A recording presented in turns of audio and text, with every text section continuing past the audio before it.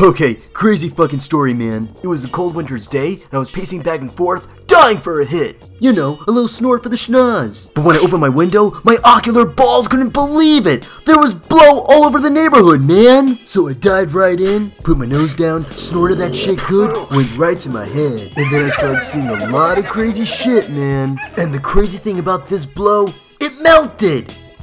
Best fucking hit ever, man.